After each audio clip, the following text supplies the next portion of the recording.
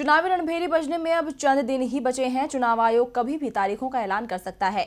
इसीलिए सभी दलों ने अपनी कमर कस ली है। सत्ता पर काबिज होने के लिए कांग्रेस उत्तर से लेकर पश्चिम और पूरब से लेकर दक्षिण तक पूरा ज़ोर लगा रही है।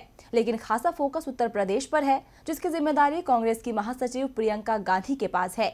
अपने इसी मिशन को पूरा करने के लिए वो मास्टर प्लान तैयार कर रही है, जिसके सहारे सत्ता तक पहुँचा जा सकेगा। उत्तर प्रदेश में प्रियंका गांधी ने जब रोड शो से चुनावी शंखनाद किया तो सपा से लेकर बसपा और बीजेपी तक बौखला उठे।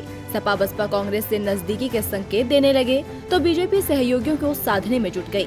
राजनीति में मची हलचल ने साफ़ कर दिया कि प्रियंका के आने से सियासी हवाएँ अपना रुख बदल रही हैं, नए समीकरणों के संकेत दे रही हैं। इन्हीं संकेतों को हकीकत में तब्दील करने के लिए प्रियंका गांधी अब अपने मास्टर प्लान के साथ एक बार फिर यूपी में हुंकार भरने को तैयार है। वो अगले हफ़्ते से एक बार फिर उत्तर प्रदेश में डेरा जमाने वाली है, जिसमें वो बीजेपी और सपा बसपा के बागियों को साध कर कांग्रेस का कुनबा बढ़ाने की कोशिश करेंगी। कहा जा रहा है कि वो अपना दल राजा भैया समेत कई छोटी पार्टियों से मुलाकात करेंगी।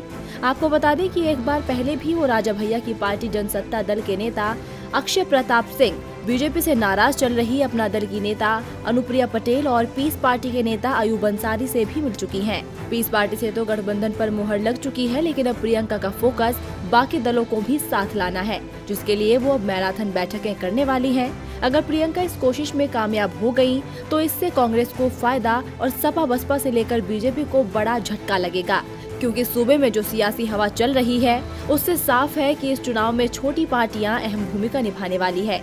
इस बार गठबंधन से ही पार्टियों का गेम बनेगा। ऐसे में कांग्रेस दूसरे दलों के साथ से बीजेपी और सपा बसपा का खेल बिगाड़ने की तैयारी में है। अब देखना होगा कि क्या प्रियंका के प्लान से कांग्रेस लहरा पाएगी जीत का परचम। डिविलाइव की रिपोर्ट।